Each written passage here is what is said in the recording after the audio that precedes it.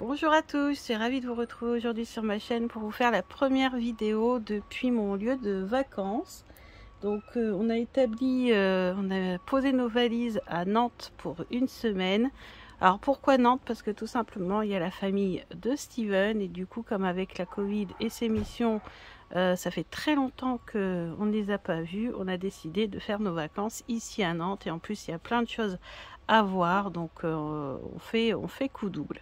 Alors bien sûr pour une semaine j'ai emmené une petite valisette avec euh, euh, des oracles, des livres et tout ça. J'ai décidé de vous faire une vidéo pour vous présenter ce que j'ai emmené.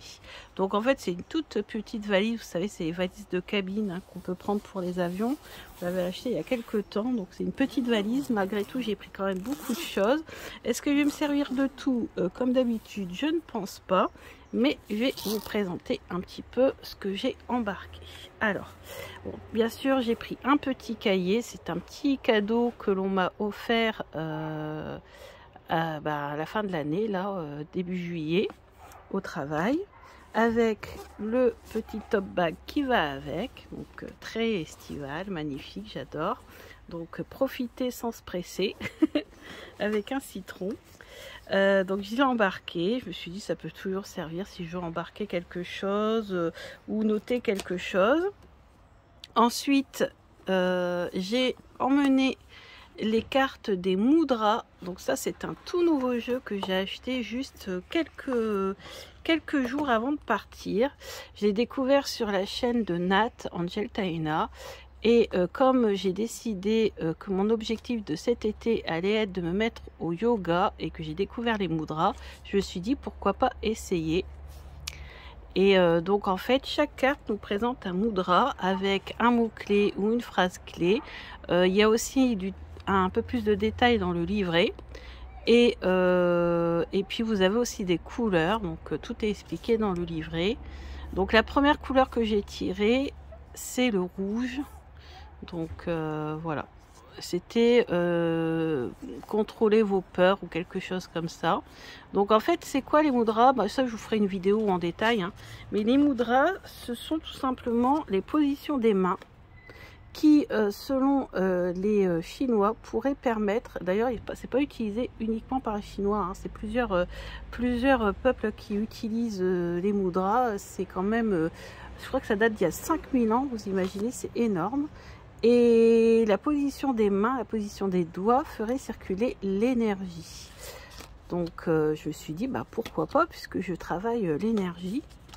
Je me suis dit, ça serait l'occasion pendant l'été d'essayer et de travailler ça.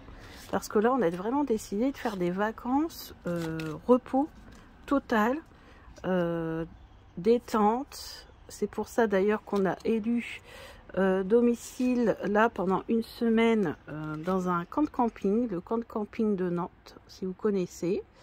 Euh, donc c'est très très calme. D'ailleurs là je filme, vous voyez sur la terrasse, il n'y a personne autour. Alors le problème c'est qu'il faut aussi très très très chaud. Donc on est juste accompagné bien sûr par les guêpes, mais ça c'est bah, les aléas du camping, hein, tout simplement. Voilà. C'est parti. La détente par exemple ici. Ne t'en fais pas. Vous voyez, ça c'est un moudra qu'on peut faire. On peut faire ça vraiment n'importe quand, dès qu'on en ressent le besoin. Donc j'ai travaillé dessus. Alors j'ai aussi regardé des vidéos YouTube pour voir un petit peu euh, bah, comment, comment, comment, on faisait, à quoi ça servait. Et vous voyez, vous avez un texte derrière avec une phrase clé. Donc j'ai trouvé ça super intéressant. Et comme j'avais décidé de me mettre au yoga, et eh ben je me suis dit je vais aussi acheter les cartes des moudras.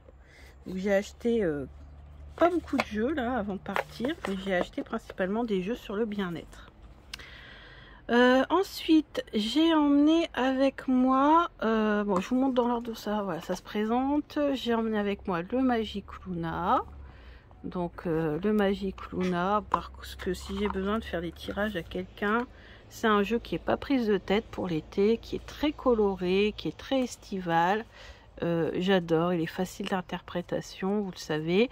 D'ailleurs, si vous voulez euh, l'avoir, il est toujours à 30% de réduction avec SAB 30. Mon code SAB 30 SAB en majuscule 30. Vous pouvez avoir 30% de réduction. Pareil pour le Magic Love qui vient de revenir. J'ai vu le poste passer hein, sur les réseaux de Delphine. Le Magic Luna Love revient. Il était en rupture de stock parce qu'il a eu énormément de succès. Les deux sont vraiment très très bien. Mais moi j'ai pris le généraliste. Comme ça, pas de souci. Pourquoi j'ai pris généraliste? Parce qu'après j'ai pris mes petits le normand. J'ai pris le Mermet le normand que je vous ai déjà présenté. Donc euh, parce que lui, bah voilà, on peut pas faire plus estival. Hein sur le thème de la mer. Alors, est-ce qu'on aura le temps d'aller à la mer? Ben, Peut-être dimanche, on va peut-être essayer de faire ça. Mais comme on a toute la famille à voir, forcément... Par contre, on a décidé, c'était vendredi, de faire le Puy du Fou. Ça, vendredi, c'est le Puy du Fou, parce que mon chéri n'y est jamais allé, étant de pourtant, comme quoi. Et moi, j'y suis allée une fois, et j'ai trouvé ça vraiment euh, magnifique. Mon deuxième petit le normand, qui est le normand oracle, c'est celui d'Alexandre, parce que avec ses couleurs et avec euh, le décor, il est très estival aussi, très tropical, je dirais même. Et je l'adore. J'espère que vous verrez bien, il y a énormément de soleil, vous savez, hein, c'est la canicule. J'ai d'ailleurs eu beaucoup de mal hier. On est arrivé hier. Mon corps a un peu souffert, étant du nord, plus habitué. Voilà, j'ai beaucoup de mal avec les grosses, grosses chaleurs. Mais bon, c'est une question d'adaptation. Donc mon corps s'adapte. Mais c'est vrai qu'hier, j'ai subi, j'ai souffert quand même. Hein. Donc voilà. Donc euh, c'est un jeu magnifique, le Lenoracle d'Alexandre Musruc, que j'ai découvert grâce à euh, Florence la chaîne Miss Florence, parce qu'on s'était vu euh, il y a une année, je crois que c'était l'année dernière, hein, si je dis pas de bêtises, au mois de juin. Et puis, elle l'avait dans son sac et elle me l'a montré parce que je l'avais vu sur les réseaux. Mais je n'étais pas sûre de l'acheter. Et puis, quand elle me l'a montré, j'ai tout de suite craqué. Ensuite, la nouveauté, c'est l'oracle de la chambre rose d'Anastasia Gross. Là, c'est un jeu pour le développement personnel parce que l'été, c'est aussi l'occasion de faire du développement personnel. Alors, bien sûr, je vous mettrai le lien de la review. Je vais faire tout ensemble, donc je ne sais pas si ça sera avant ou après cette vidéo.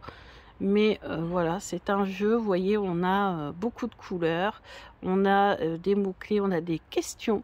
Donc on peut se servir de ces cartes pour interroger après un tarot, par exemple. retour en arrière, qu'a-t-on abandonné trop vite? Et là, bien sûr, après on travaille avec le tarot pour savoir, etc. Donc c'est vraiment des questions super intéressantes. Il y a des tirages aussi spécifiques avec uniquement ce jeu. Tout est expliqué ici, on a des cartes en plus vous montrerai ça dans la review. Et j'ai un petit mot d'Anastasia, ça m'a fait trop plaisir. J'aime bien quand j'ai des petits mots comme ça avec la signature, ça a conservé. Alors, un jeu que euh, m'a envoyé Ressourcea, donc euh, trio de choc qui euh, a conçu un jeu sur l'astrologie, mais vraiment génial. Donc pareil, je vous le montre, alors soit je vous l'aurai déjà montré, soit je vous montrerai après en détail. Je vous ferai les reviews. C'est l'oracle de l'astrologie intuitive, transformation et évolution. Et là, franchement, j'adore parce que j'ai toujours eu un peu de mal avec l'astrologie. En plus, vous avez vu le guidebook, il est épais, donc beaucoup d'informations à l'intérieur sur chaque carte. On, se familiarise facilement avec les symboles euh, astrologiques, ou pardon, hop là, pour les, avec les symboles astrologiques. Voilà, regardez, on a rayonnement, identité, donc là on a le symbole du soleil, voilà. Les... Alors pourquoi astrologie intuitive? Parce que bien sûr c'est un jeu qui est basé sur l'astrologie, mais on a des illustrations hyper intuitives et on a des mots-clés. Comme ça, ça permet, alors soit, voilà, on peut avoir les deux, on peut avoir des, des informations astrologiques et on peut aussi avoir des informations divinatoires ou développement personnel ou de guidance avec ce jeu. Regardez ici, les illustrations, je les trouve juste magnifiques. Donc je vous montrerai plus en détail dans la review. Alors, si la review est déjà faite, avant que je mette cette vidéo en ligne, je vous mettrai les liens des, reviews euh, en barre d'infos. Et sinon, bah, vous les aurez après. Après, j'espère que je capterai bien. Bon, on capte la wifi du, du camping, mais bon, elle est assez aléatoire quand même. Donc voilà.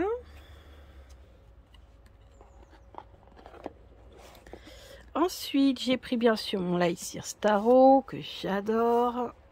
Là, vous connaissez. Hein, pour justement travailler euh, avec euh,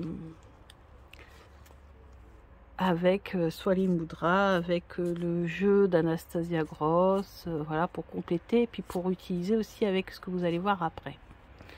Donc ce jeu-là, vous connaissez, c'est le Lightseer Starro, très très très très connu en français. Ensuite, j'ai pris donc le que je n'ai toujours pas relié du coup, My Le Normand Study, découvrir et s'approprier les cartes du petit Le Normand. Donc là, euh, voilà, on a les exercices. Je n'ai pas encore commencé, mais je compte bien faire ça euh, donc là pendant pendant l'été. Et si je ne l'ai pas fait euh, là pendant la semaine, et eh ben je continuerai même en rentrant à la maison. Ensuite, on a les runes j'ai pris le petit cahier des runes parce que j'aimerais étudier les runes cet été. Personnellement, je l'ai pris, mais je ne pense pas que je m'en servirai. Je pense que ça, je le ferai plutôt quand je serai rentrée à la maison avec les vidéos de biche lunaire. Euh, j'ai pris les, livres des petits Lenormand, comme ça je me suis dit si jamais je m'ennuie que je veux lire, eh ben je pourrais lire. Donc j'ai pris les deux, j'ai pris celui de d'Alexandra, de Sandrine Martin et d'Anne-Marie Constanza. Hein, ce sont mes deux, euh, chouchous.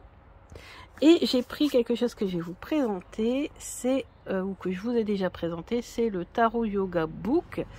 Euh, ça, c'est vraiment nouveau. Je pense que je vous l'aurais présenté avant cette vidéo. Euh, je vous ai dit hein, que je veux cet été me mettre au yoga. Ça fait déjà des, mois, hein, voire peut-être même plus encore, que je veux me mettre au yoga, que je veux reprendre une activité physique, mais qui ne soit pas aussi intensive que je l'ai pratiquée autrefois, parce que j'ai pris énormément de kilos. Euh, j'en ai pris plus de 20. Et bah, le problème, c'est que le corps, voilà, maintenant, bah, il faut qu'il reprenne en douceur, parce que si je reprends une activité trop trop intense tout de suite, je vais abandonner. Ça a déjà été le cas parce que j'ai déjà voulu reprendre et en fait j'ai pris trop, j'ai fait trop intense et, euh, du coup j'ai arrêté. Donc là j'ai dit je vais reprendre en douceur, donc yoga, pilates et puis quand mon corps euh, se sera raffermi, aura repris euh, un petit peu voilà le goût de l'effort, je pourrai recommencer tout ce qui est plutôt cardio, fitness, etc. un peu plus intense. Donc là pareil, hein, je vous montre rapidement, comme ça je vous le feuillette. Euh, mais euh, je vous présenterai en détail dans une review. Alors, euh, pour ceux qui ne connaissent pas, si c'est marqué ici, hein, c'est Aura Clinzel. Donc, elle a une chaîne YouTube. Elle a surtout Instagram. C'est sur Instagram hein, qu'on la connaît beaucoup. Et elle fait des TikTok hyper rigolotes. Donc, bon, je suis pas trop TikTok, moi, mais j'avoue que je les ai vus via Instagram. Et j'ai trouvé ça super. Euh, ensuite, vous voyez, vous avez tous les chakras. Donc, euh, bien sûr, j'ai décidé aussi de travailler sur les chakras. Euh, et puis, c'est un genre de cahier d'activité, c'est-à-dire qu'en fait, pour chaque, chose présentée, il y a des tirages. Donc, vous voyez, ici, on a le sommaire. Donc, on a les huit sagesses du yoga. Pour chaque sagesse, on a un, un, tirage. Vous voyez euh, c'est un cahier d'activité en fait. Moi j'aime bien les cahiers d'activité. Les sept lois spirituelles du yoga, le bilan. Et à chaque fois on a des tirages avec le tarot parce que euh, donc Oracle Inzel euh, fait, du, fait du yoga et fait du tarot. Elle avait décidé de concilier les deux et de créer ce cahier d'activité. Et je l'ai acheté. Donc je vous présenterai en détail. Ensuite, ça, c'est plus euh, tout ce qui est euh, voilà, énergétique. Là, j'ai pris aussi mes cartes de tarot. Est-ce que j'aurai mes, euh, mes cartes de yoga? Est-ce que j'aurai le temps de faire du yoga? Franchement, je crois que ça a plutôt, je l'ai pris, mais je ne sais pas si je vais m'en servir. Mais bon, vous savez, hein, c'est toujours pareil. On prend toujours plein de choses et en fait, on se sert que de la moitié. Donc là, aux éditions Grancher, je l'ai vu sur euh, les réseaux. Je me suis dit, bah, c'est pas mal. Alors, ce sont des cartes. Donc, vous voyez, on peut choisir sa sa, pratique, enfin comment on va dire, sa routine yoga avec les cartes. Les cartes nous aident à savoir quels sont les chakras associés, nous aident à savoir comment se positionner. Voilà, on a toutes les explications ici et en plus après on a encore un, texte qui peut nous servir de développement personnel ou de guidance ici. Donc euh, j'ai trouvé ça super sympa de concilier cartes et yoga. Euh, et vous avez des couleurs, c'est en fonction, il y a les positions assises, il y a les positions euh, debout, etc. Et euh, vous avez combien de cartes? Vous avez, je crois qu'il y a 60 positions, quelque chose comme ça. Et vous voyez, c'est par Yoga Fire by Joe. Et elle a 17 000 abonnés sur Instagram, sûrement beaucoup plus. Maintenant, ouais, on a 60 postures illustrées pour découvrir la magie du yoga. Donc comme je vais mettre au yoga, bah, je me suis dit c'est une façon un peu fun. Et bien sûr, je, au départ, comme je connais pas bien, je regarde quand même toujours des vidéos sur internet euh, pour voir comment, euh, parce que moi je suis visuelle, j'aime bien apprendre en vidéo, donc j'ai besoin de voir en vidéo euh, comment la personne se positionne, même si on a toutes les explications et qu'elles sont très bien faites sur les cartes, il n'y a pas de souci avec ça, mais moi j'ai besoin quand même de voir une vidéo, donc souvent je, tape position de, bah, regardez la deuxième ici, on a position de la posture du diamant, et puis on a ça sur internet, on trouve facilement comment se positionner.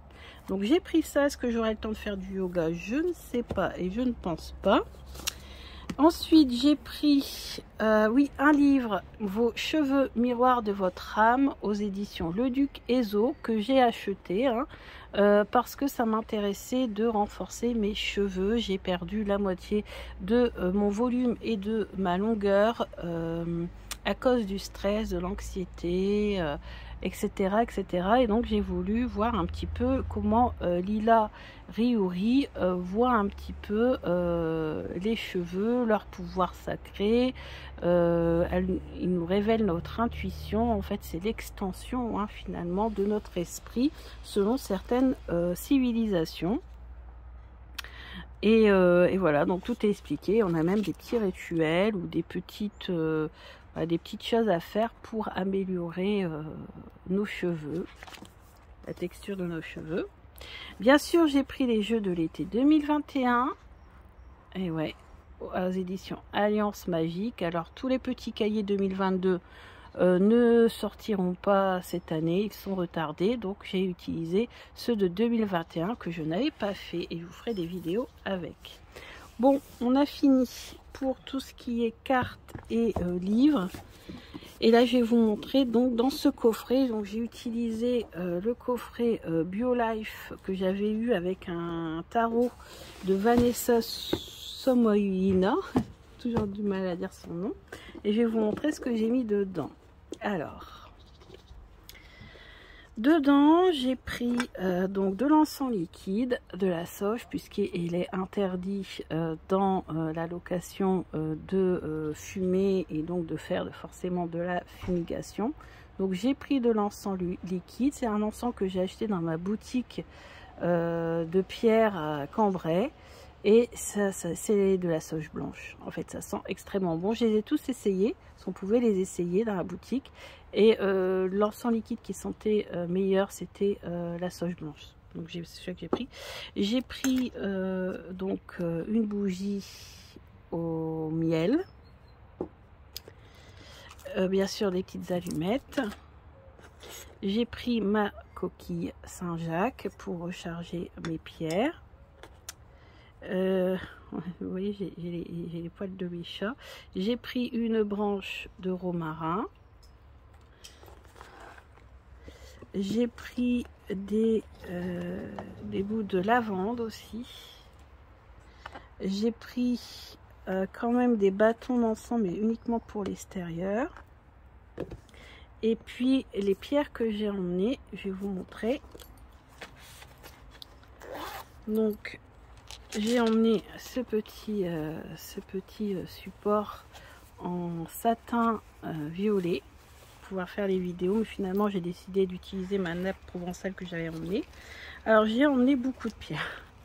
J'ai emmené, donc bien sûr, ça c'est l'indispensable, c'est l'obsidienne pour se protéger des énergies négatives. J'ai pris la lupodolite si jamais il y a un gros coup de stress. J'ai pris ma citrine, ma citrine pour euh, voilà l'énergie, euh, le côté solaire. Ensuite, j'ai pris bien sûr ma labratorite, toujours pour me protéger des énergies négatives, si je tire pour les gens. Ma malachite, si jamais il y a une douleur.